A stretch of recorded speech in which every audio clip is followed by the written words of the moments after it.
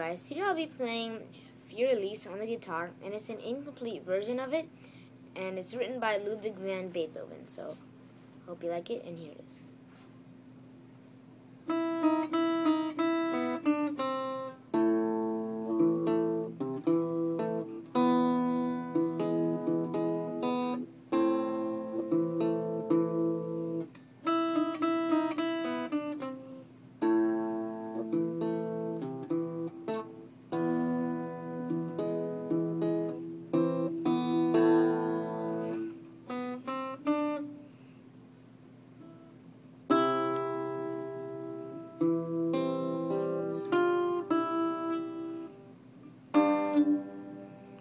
Alright guys, so that was the incomplete version of Fur Elise on guitar.